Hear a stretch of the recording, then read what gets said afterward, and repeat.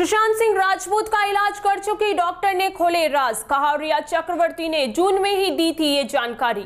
नमस्ते, मैं हूँ आपके साथ नीलकमल सिहाग। बॉलीवुड अभिनेता सुशांत सिंह राजपूत केस को लेकर कानूनी जाँच जारी है।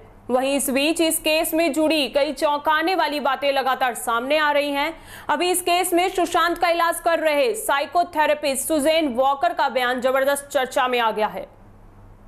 उन्होंने मुंबई पुलिस को अपना बयान दर्ज करवाया था, जिसमें सुजैन ने कई राज खोले हैं। उन्होंने सुशांत के, उनके पिता के रिश्ते को लेकर भी खुलासा किया है। इसके अलावा उन्होंने यह भी बताया कि सुशांत उनके पास किस ट्रीटमेंट के लिए आए थे। सुशांत सिंह राजपूत केस की बात करें तो रिया चक्रवर्ती के घर एनसीबी का छापा पड़ने की खबर आई है।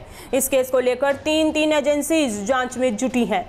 सुजैन वॉकर का मुंबई पुलिस को दिया स्टेटमेंट सामने आया है। सुशांत का इलाज कर रहे साइकोथेरेपिस्ट सुजैन वॉकर का मुंबई पुलिस को दिया बयान सामने आया है।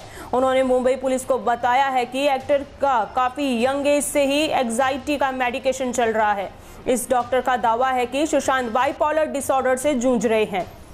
डॉक्टर का कहना है कि सुशांत को लगता था कि वो अब ठीक नहीं हो सकता। उसकी कंडीशन 2013 और 14 में काफ़ी बिगड़ी थी।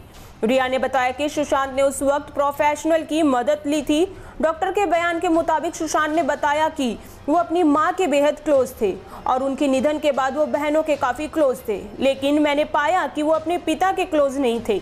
उनका कहना है कि सुशांत अक्सर स्पेस एस्ट्रोनॉमी और फिजिक्स की बातें किया करते थे।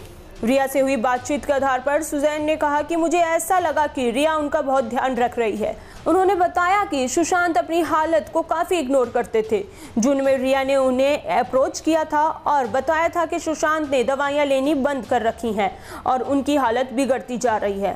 आपको बता दें कि सुशांत सिंह राजपूत के परिवार के वकील विकास सिंह ने बताया था कि फैमिली को सुशांत के पैनिक अटैक्स के बारे में जानकारी है, लेकिन डिप्रेशन की बात पर उन्हें भरोसा नहीं है, बल्कि उन्होंने रिया चक्रवर्ती पर कई आरोप लगाए हैं।